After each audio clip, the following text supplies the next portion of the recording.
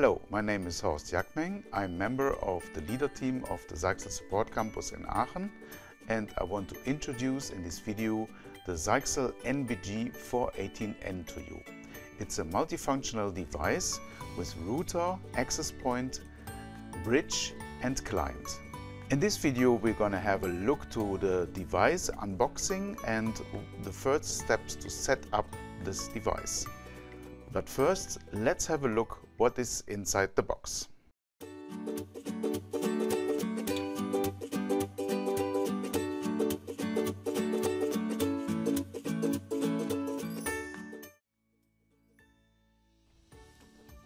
Let's open the box of the NBG 418N version 2. Inside the box you can find the quick start guide in multiple language which gives you the instruction to set up the device in a few steps. Also you can find the FCC declaration and of course the hardware, which consists of the NBG 418N device with two fixed antennas, power on off button, wide area network and LAN connections as well as a WPS button, a network cable and a power supply. If you connect the device to the power make sure the power button is off and connect it to the power supply before you plug it into the mains. Then you can establish the connection between your computer and the device and to the internet. The internet connection can come from a DSL or cable modem as well as a fiber connection from your service provider. Use a dynamic or a static IP address. Let's have a look at the setup of the NBG 418N version 2.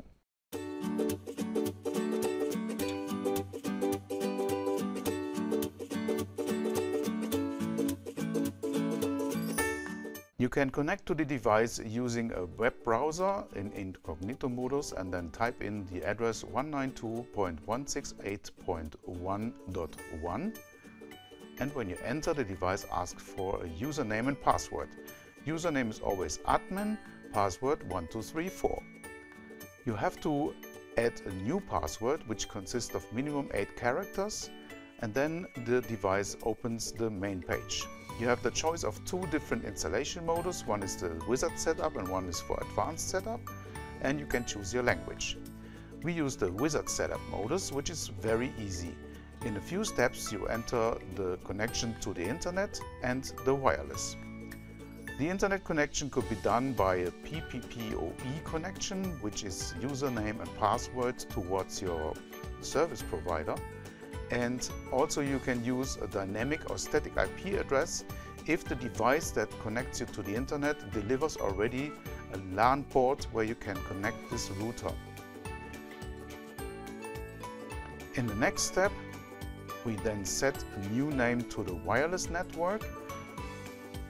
In the wireless SSID, you can fill in the name where you can remember. We set this to a test version then you have the opportunity to change the channel of the wireless. If you have a lot of wireless access points in your home, choose the, the channel 9, 11 or leave it on auto if there is no high density. And the channel width also on the standard value. In the lower part you can set the security to your device Remember to key in a wireless password that is case sensitive, so you have to key it in exactly the same way like you enter it here. That was already the setup. We apply this to the device, it restarts and you can change the connection from cable to wireless on your network. Then you can browse for the wireless clients for the wireless networks in your neighborhood. Find our test network, key in exactly the security key that we set to it and connect. So the connection is done in a few seconds. In the advanced setup, you have the opportunity to set every part of your network and also change the firmware version. Firmware version is always visible on the status page, should be the actual version. And if you are not sure if this is the last version, visit our FTP site and browse for the latest firmware. Further, you can set up all connections like the wireless LAN, the internet connection, LAN settings, DHCP, and so far in the left menu. Make sure if you change anything on the wireless setup that you are connected with a cable. The most important part is under maintenance, that's the system operation mode, because here you can set the device to four different modes. One is the router mode that we already did before.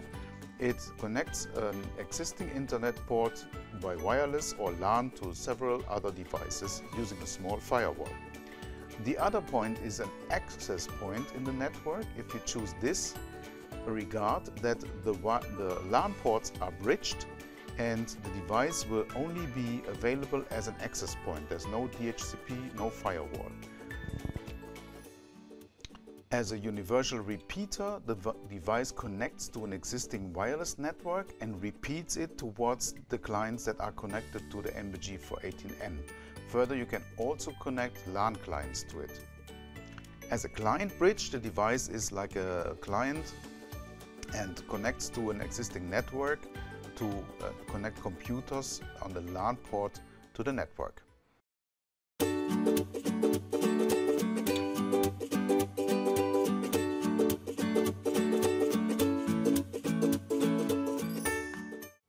If you're looking for more information for your device, you can find it on our FTP server in the map NBG 418N version 2. There are the latest firmware versions, again the quick start and the user guide. If anything on your device is not working, use the reset button on the backside of your device, push it for 12 seconds and the device turns back into factory modus.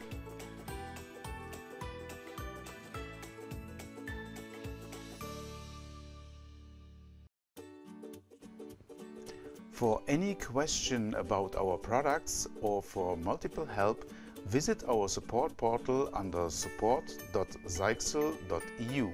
You can find more than 600 help articles in different languages, as well as videos and our demonstration lab. This was the introduction of our Zyxel NBG router. If you like our unboxing videos, make sure to subscribe to our channel and click the bell if you want to be notified. Thank you very much for watching. Goodbye. We're Zyxel, and we're your networking ally.